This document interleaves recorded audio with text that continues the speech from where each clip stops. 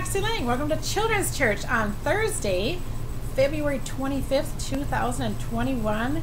We only have a couple days left of this month and it's going to be over with. And then March is coming and spring is on the way. And I have a baby granddaughter that is due in a little less than a month. So that is exciting to, too. Did I say granddaughter? A grandson I have coming born. That was going to be born in less than a month. So that is exciting. But my granddaughter is going to be one in March. So that's exciting too. I have a birthday party for her.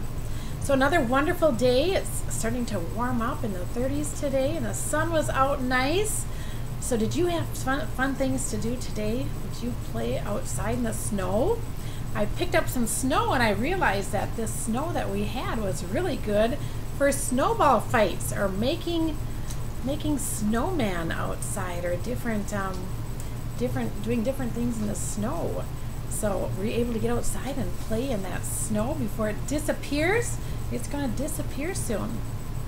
Our story today is about Jesus, and Jesus goes out into a boat with his disciples, and it starts to get stormy. So we're going to see what Jesus does when there is a huge storm out in the water. I betcha. I betcha his disciples were afraid, but Jesus isn't scared, is he? Because Jesus is not afraid of anything.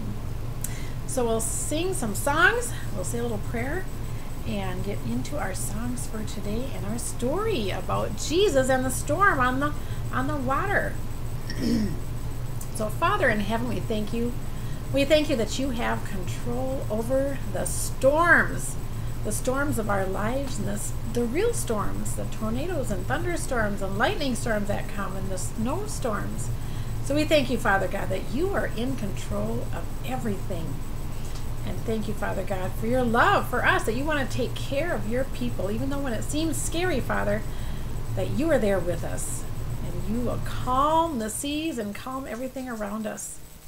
So we thank you for your love for us. We thank you for sending Jesus, your one and only Son, to come and live and die for us. In Jesus' name, amen and amen. So our first song today is Our Father, which art in heaven. We've sang it a couple of times. Our Father, which art in heaven, hallowed be thy name. Thy kingdom come, thy will be done on earth as it is in heaven. Our Father, which art in heaven, hallowed be thy name. Thy kingdom come, thy will be done, on earth as it is in heaven. Amen. And our Father, which art in heaven, hallowed be thy name. And that is a prayer that Jesus taught his disciples because the disciples asked him, Jesus, how should we pray? So this is the first prayer that Jesus taught his disciples Our Father, which art in heaven, hallowed be thy name. Thy kingdom come, thy will be done on earth as it is in heaven. That's another Bible verse that is found in Matthew. So it's another easy song to sing or remember a Bible verse because we sing the song to it. The next song we'll sing is He's Got the Whole World in His Hand. And who's got the whole world in his hands? God does. God made the whole world, didn't he? And God said, It is good. He made everything, every person, every plant, every animal. He made the entire world. so if we let Him, God's got us in His hands, doesn't He? He's got the whole world in his hands. He's got the whole world in his hands. He's got the whole world in his hands. He's got the whole world in his hands. He's got the itty bitty baby in his hands. He's got the itty bitty baby in his hands. He's got the itty bitty baby in his hands. He's got the whole world in his hands. He's got the you and me brother in his hands. He's got the you and me sister In his hands, he's got the you and me, brother. In his hands, he's got the whole world in his hands. He's got the whole world in his hands. He's got the whole world in his hands. He's got the whole world in his hands. He's got the whole world in his hands. He's got the everybody in his hands. He's got everybody in his hands. He's got everybody in his hands. He's got the whole world in his hands. He's got the whole world in his hands. He's got the whole world in his hands. He's got the whole world in his hands. He's got the whole world in his hands. And he does. God has you and me. He's got that itty bitty baby. He's got the world. He's got everybody in his hands because we serve a mighty, mighty, awesome, awesome, good, good God. The last song we'll sing is I have decided to follow Jesus. And have you decided to follow Jesus? And if you haven't followed, decide, if you have not decided to follow Jesus yet, say, Lord Jesus, I want you in my heart. Forgive me of my sins. I repent of my sins. And I want Jesus to come in. Jesus, come into my heart. Come into my heart to stay in Jesus' name. And Jesus comes right in. When you welcome him in and, and ask for forgiveness of sins, Jesus comes in and he forgives you of your sins. And you can be forever and ever with Jesus in heaven when our time on earth is up, up here. It's just a wonderful thing knowing where we are going to be when we invite Jesus into our lives. So let's sing I have decided to follow Jesus. I have decided to follow Jesus. I have decided to follow Jesus. I have decided to follow Jesus. No turning back, no turning back. The world behind me, the cross before me. The world behind me, the cross before me. The world behind me, the cross before me. No turning back, no turning back. Though none go with me, still I will follow. Though none go with me, still I will follow. Though none go with me, still I will follow. No turning back, no turning back. Will you decide now to follow Jesus? Will you decide now to follow Jesus? Will you decide now to follow Jesus? No turning back, no turning back. And when you make that step of following Jesus, we don't want to turn back because we know where we're headed. And if we turn away from Jesus, we don't go to heaven, do we? We won't have Jesus in our hearts if we turn away from Him. So turn your heart and your life to Jesus, and you're going to find the joy, the everlasting joy. We're still going to have troubles along the way because the enemy is furiously after God's people. But God gave us control over the enemy. And when we invite Jesus into our lives, Jesus helps us defeat the enemy in every area of our lives. Because God is victorious. He is victorious in our lives, and God is a good, good God. So, our story today, let's get into our story. It is called Jesus Calms the Water. And we are in the Bible Stories Treasury. Jesus calms the water. And there's that picture if the light isn't too bright on it.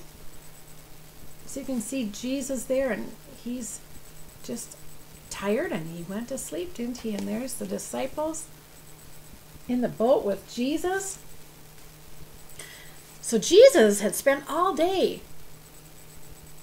telling the people parables and preaching to the people that were on land, and they were in the boat. so Jesus could see the people and they could hear him. And they got done. He got done at the end of the day, and Jesus' disciples said, Jesus, let's go to the other side of the lake. So they took their boat out and they were going across the lake. And Jesus was tired.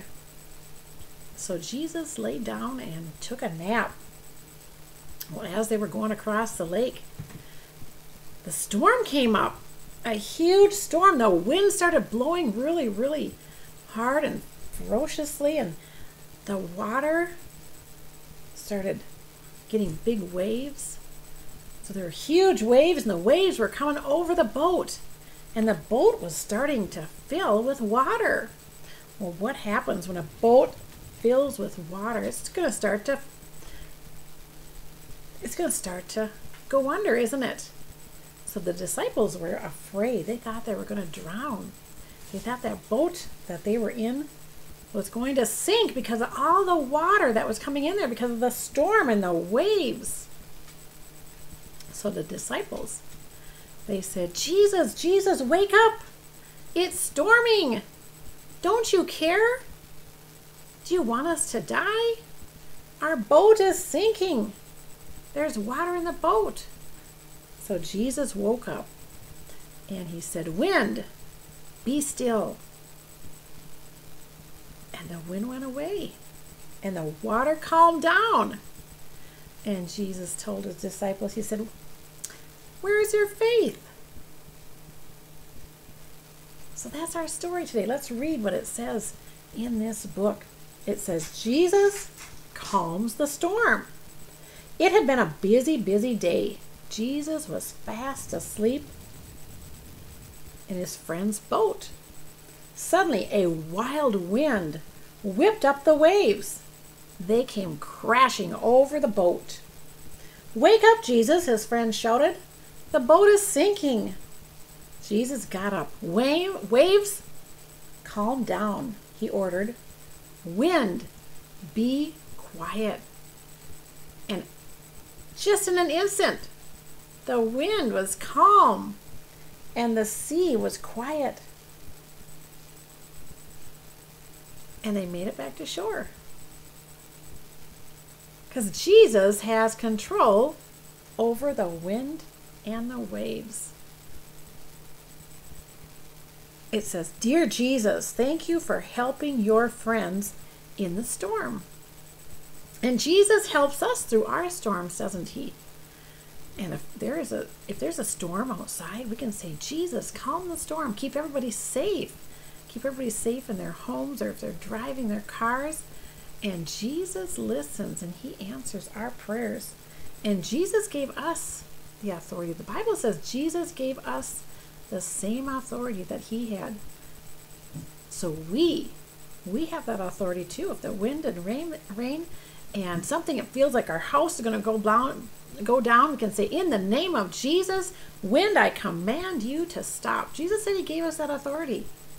And when the bible says that the bible is truth and he wants us to use that authority. And we forget that we have that authority or we don't think that we have it but we have that authority to tell the wind to stop.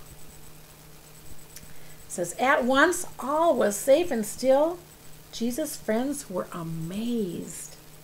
Even the wind and the waves do what Jesus says.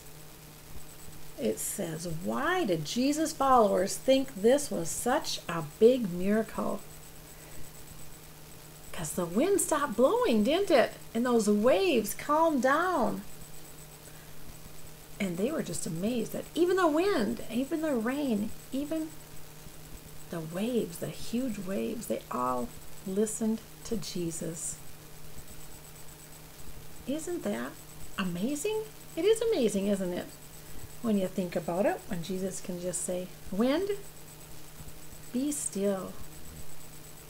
Waves, be calm. And this is found in Mark chapter 4 of the Bible. And you can go and read it in the Bible. And this Bible will tell you the same story, a little bit longer.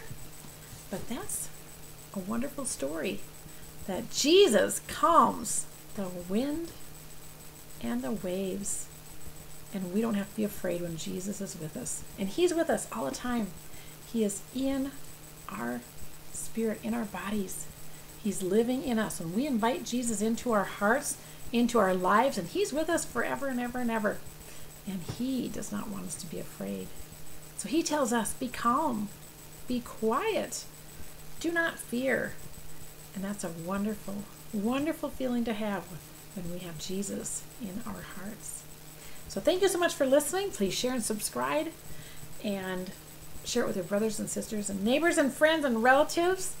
Because God loves you, Jesus loves you, I love you. Have a wonderful rest of your day. And we'll have another day of Children's Church tomorrow. Thank you for watching.